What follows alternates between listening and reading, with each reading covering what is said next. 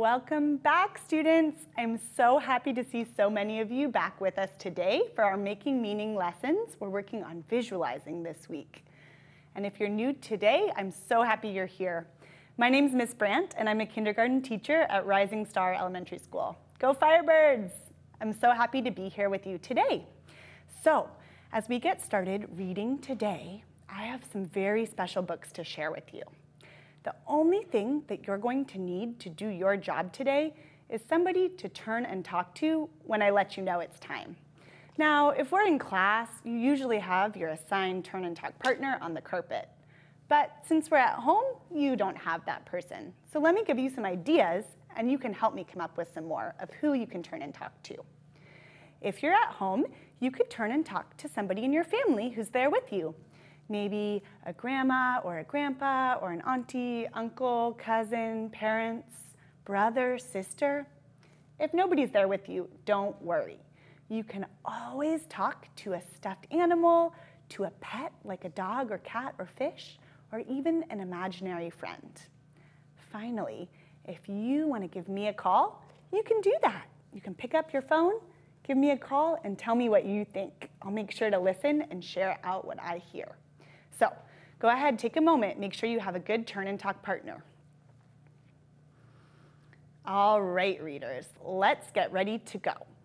So those of you who are here with us last time, you remember my turn and talk partners. I have two. One of them is Tiggy the tiger. Can you say hi? Hi. Tiggy's not shy at all. He's so excited that you're here today, just like me. I have another turn and talk partner too. This turn and talk partner, you might remember, is named Saki the sock. Saki's a little bit shy, so we have to be really quiet so he can say hi, okay? Hi. Good job, Saki. All right, so when I turn and talk today, I'm gonna turn and talk to Saki and Tiggy. And remember, you can always call me if you don't have a turn and talk partner. All right, let's get started. So this week, we are talking about visualizing. Can you say visualizing with me? Let's try it. Ready? Visualizing. Very nice, students. We're gonna practice that skill today with this book, some of you might remember, called Gregory the Terrible Eater. Some of you will remember, what does terrible mean? You can shout it out, tell me. You got it. Terrible means very bad. Now, in this book, remember, there was a goat named Gregory, and you can go ahead and look at the cover to help your brain remember what was happening. Because I'm going to ask you our first question. What do you remember happening in this story? Hmm. What do you remember happening in this story? I'll give you a moment to think, and then this time, I want you to give me a call and tell me what do you remember happening in Gregory the Terrible Eater? You can say, I remember. All right, ready? Pick up your phone. Think for a minute. Okay, go ahead and call me and tell me when you're ready. Oh my goodness, readers, I'm gonna hang up my phone. I had so many calls. Lots of students, kindergartners and first graders told me that they remember this book is about a goat named Gregory who does not want to eat junk. Gregory wants to eat foods that are healthy, but his parents, mother and father goat, don't want him to eat those foods. I even heard one first grader tell me that he remembered that Gregory ate so much junk by the end of the book, his tummy hurt. That's right. Go ahead and hold your tummy. At the end, Another student told me they remembered Gregory's problem got solved when he started to eat a little junk and a little healthy food. And his family was happy. Go like this if you agree with those answers. And remember, if you remembered something else, that's okay. So, for those of you who weren't here with us yesterday, let's take a really quick look at our book so we can help our brains know what to expect. Gregory the Terrible Eater. In the beginning of this story, Gregory was feeling a little bit blue or sad because his parents loved to eat junk like shoes and coats and pants and jackets. But Gregory just wanted to be eating healthy foods. Here in the middle, Gregory's still thinking about those healthy foods like carrots and fish and fruits, even though his parents are munching on newspaper or junk. Remember, munching? That's right, it means chewing. Later on in our book, you might remember that Gregory went to visit Dr. Ram, and Dr. Ram told Gregory's parents to have him eat just a little bit of everything. And then Gregory's parents did something. They went to the town dump or junkyard where there's lots of trash, and they brought back many things for Gregory to eat. He ate them all, and then he got a tummy ache. He was moaning and groaning. Finally, at the end of our story, Gregory learned to eat just a little bit of everything. Some healthy foods and some junk, and it was just right. And at the end of the story, just like so many of you said, Gregory's family and Gregory were so happy to be together eating their food together. So, remember our skill? Who remembers? What did I say? Nice, you got it. Visualizing. Let's say it again. Visualizing. When we visualize, you can even point to your brain, we make pictures in our mind, or maybe even a movie, maybe even moving pictures that help us understand the story. So when you read words on a page, you make a picture in your mind of what's going on. Now, I know that I just showed you some pictures, but this time, readers, I'm going to reread Gregory the Terrible Eater, and you are going to have to visualize. I will not show you the picture. I know. So, let's get started. When I say turn and talk, make sure that you're either calling me or turning and talking to your partner. Gregory the Terrible Eater by Mitchell Sharmat, illustrated by Jose Aruego and Ariane Dewey. For Andrew, the goat who tried to, and the goat who tried to eat his coat. Once there was a goat named Gregory. Gregory liked to jump from rock to rock, kick his legs into the air, and butt his head against walls. I'm an average goat, said Gregory. Who remembers what average means? You got it. Average means normal. But Gregory was not an average goat. Gregory was a terrible eater. Every time he sat down to eat with his mother and father, he knew he was in for trouble. Ooh, I'm noticing some readers pointing to their brains. I can tell they're starting to visualize in their own heads the words I'm reading. Good job. Keep it up. Would you like a tin can, Gregory? asked Mother Goat. Uh, no thanks, said Gregory. How about a nice box, a piece of rug, and a bottle cap? asked Father Goat. Bah, said Gregory unhappily. Well, I think this is a meal fit for a goat, said Mother Goat as she chewed on an old shoe.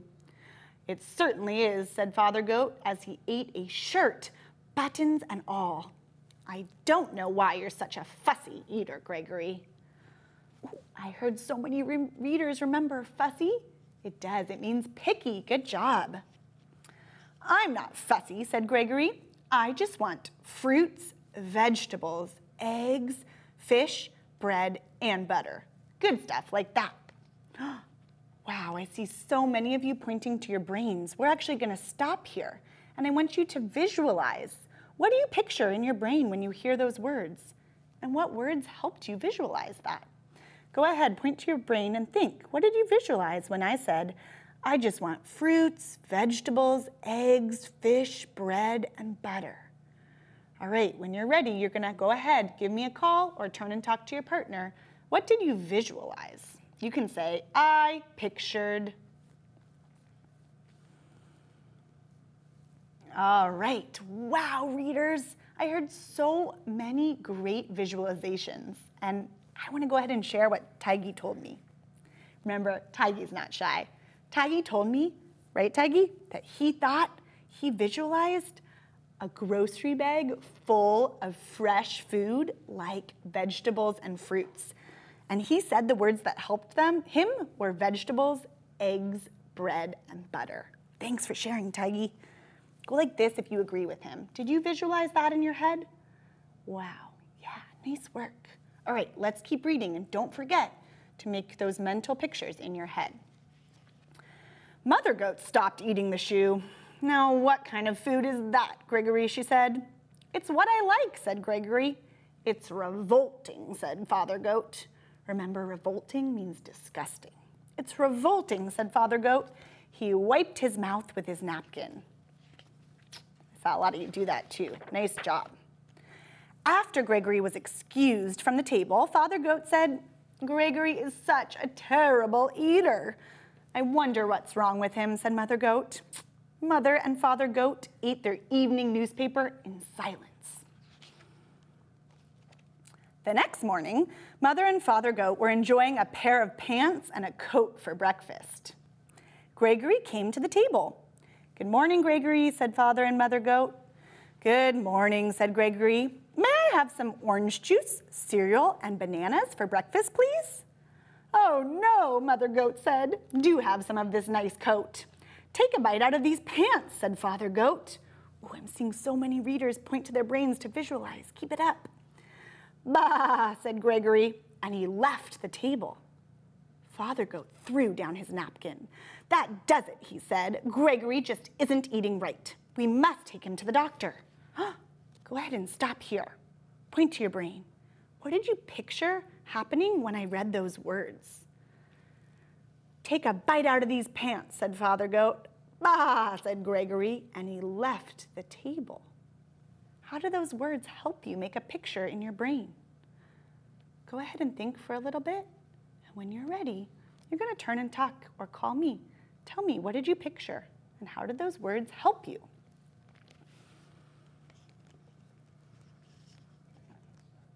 All right, readers. Wow. I heard so many excellent visualizations, and I want to share one in particular. I heard a kindergarten student call me and she told me she visualized Gregory throwing down his napkin and running away from the table. The words that helped her were the words, bah, said Gregory, and he left the table. Wow. That reader was remembering to think about the words that helped her visualize. And I heard so many of you do the same thing. Keep it up, readers. Let's keep reading.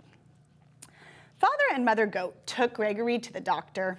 Dr. Ram was munching on a few pieces of cardboard. Show me munching. You got it. It means chewing. What seems to be the trouble, he asked. Gregory is a terrible eater, said Mother Goat. We've offered him the best.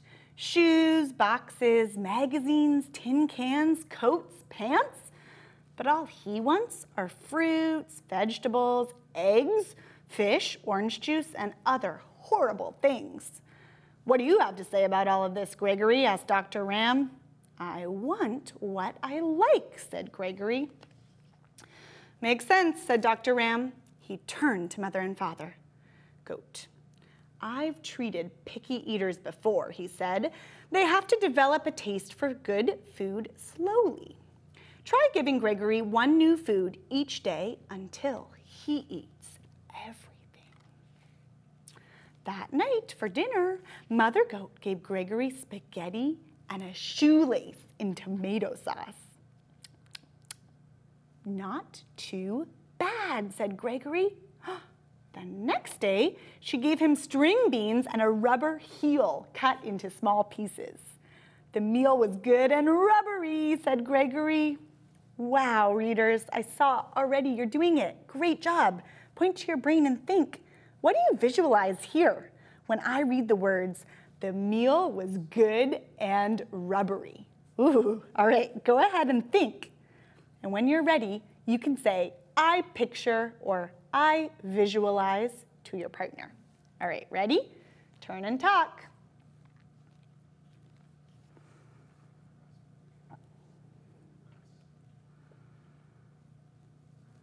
All right, readers, great job sharing what you visualized.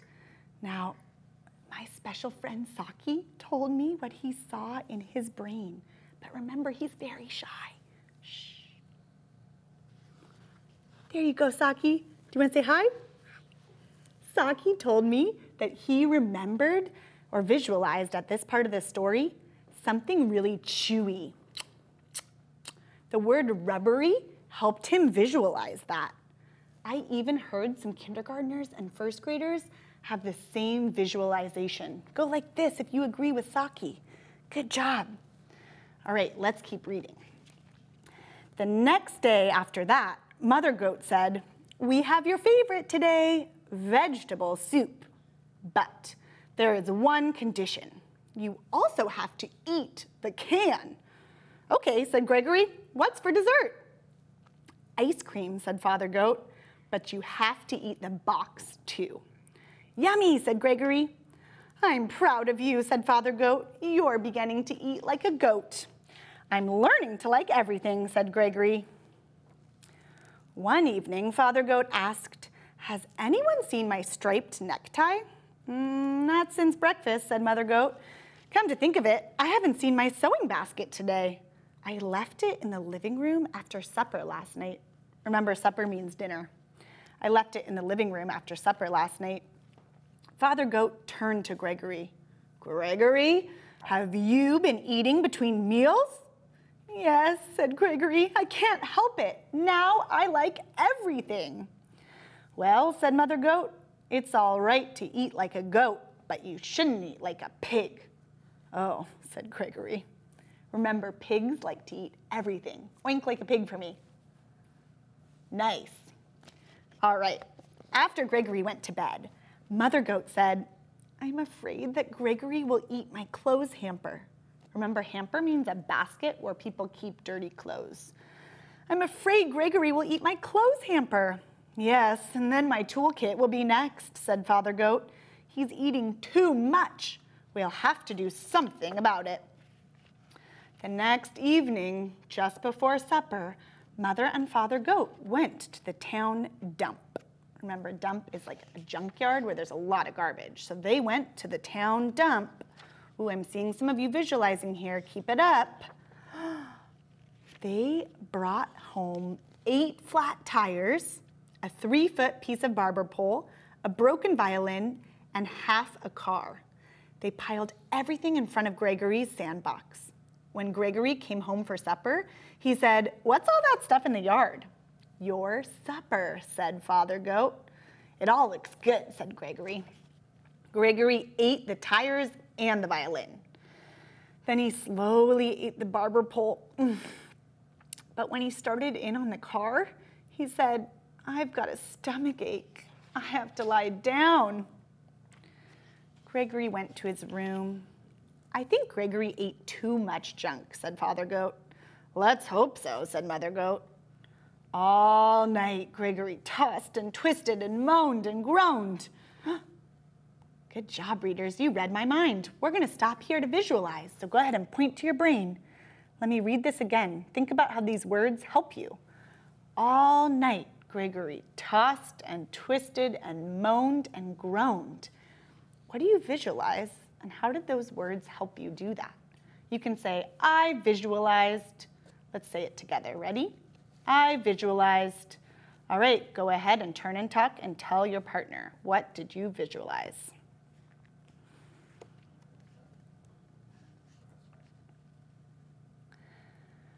All right, readers, great job visualizing. I heard so many excellent visualizations. I heard some students say they visualized Gregory getting tangled or mixed up in his sheets because he was turning back and forth so many times. I even heard one reader say they visualized Gregory holding his tummy and saying, oh, because it hurts so bad. Great work. Let's keep reading. The next morning, he went down for breakfast. What would you like for breakfast today, Gregory? asked Father Goat. Scrambled eggs and two pieces of wax paper and a glass of orange juice, said Gregory. That sounds just about right, said Mother Goat. And it was. And that's the end of our story, Gregory the Terrible Eaters. Eater. Wow, readers, give yourself a big pat on the back. You did such an excellent job visualizing with me, and I'm so proud of you. Now, it is your turn. So, when it's time, you're gonna pick a Just Right book for yourself and you're gonna go ahead and practice visualizing on your own when you're reading that book. You can use the paper in your activity extension to help you visualize. The paper looks like this. You'll see on there it says before reading, during reading, and after reading. And you're gonna draw the picture that you saw in your head or visualized, and then you're gonna write down the words that helped you visualize that picture. All right, let's try it out together one time before you do it on your own. So for this, I'm gonna go ahead and use our book, Gregory the Terrible Eater, since we just read it all together and you all did such a nice job visualizing. So let me think. Before reading, it says, look at the cover and draw your prediction. So I'm gonna go ahead and draw Gregory the goat, and I'm gonna draw him with a really big frown, and I'm gonna draw a shoe in front of him because Gregory the goat did not wanna eat that junk. That was my prediction. The words that helped me on the cover were the words terrible, remember that means very bad, eater. All right, check it out. On my paper, I've written the book title, Gregory the Terrible Eater. And so far, I've drawn what I visualized before reading. I drew Gregory the goat frowning because he did not want to eat the junk. The words that helped me were terrible eater. All right, now, during reading, hmm, let me think. While we were reading, I really had a good visualization when we got to the page where Gregory was eating shoelaces in tomato sauce. So I'm gonna draw a big bowl of shoelaces in tomato sauce. The words that helped me visualize that were shoelace in tomato sauce. Ooh, I'm already seeing some of you go like this to show me you agree. Here we go. So during reading, I drew shoelaces in tomato sauce and I wrote those words down here because those are the words that helped me picture the shoelace in tomato sauce. All right, finally, after reading. Hmm, let me think for a minute. After we read, you know what I really remember? Gregory's mother and father were really happy with him. So I'm gonna draw three happy goats. That's what I visualized because Gregory learned to eat just the right amount. The words that helped me visualize that were just about right. All right, check it out. I drew three happy goats, Gregory, mother goat, and father goat, and I wrote the words just about right because those words really help me picture or visualize the three happy goats. So remember, when it's your turn, you can go to your activity extension page that looks like this to do the same thing.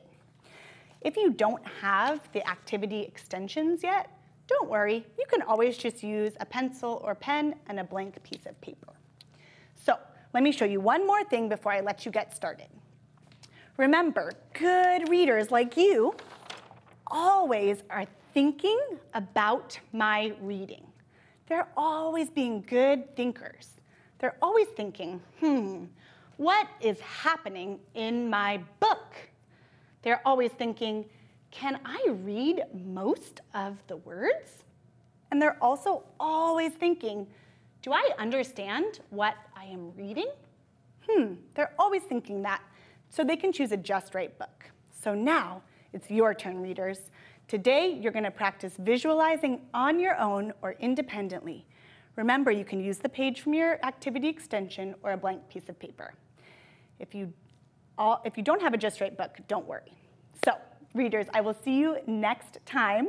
I'm Miss Brandt, and I'm so happy you all joined me here today. Give me an air high five, give yourself a thumbs up, pat on the back, self-hug, great work. And remember, you can check out our student online portal if you need a Just Right book. See you next time.